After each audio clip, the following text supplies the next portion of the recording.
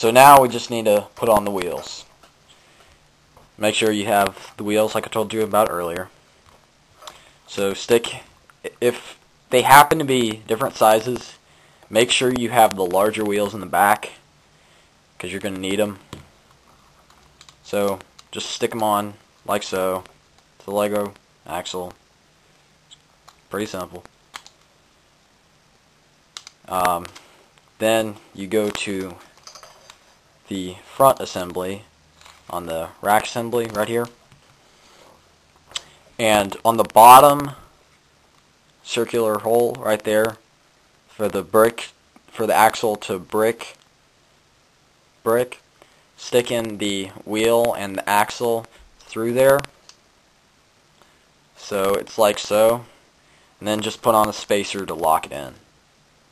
I suggest you don't use the axle to pin to put the wheels onto this because it'll have less stability and it will start to like bend and stuff like that when underweight by the RCX and the other assemblies.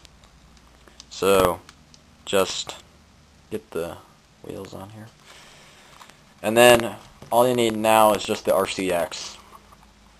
So make sure you just have it where the actual RCX is on top of this driving motor and the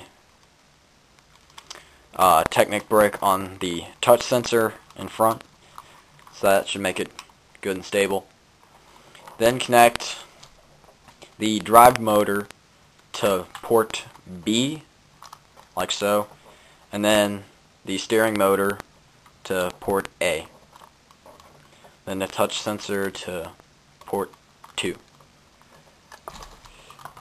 And that is pretty much how you build the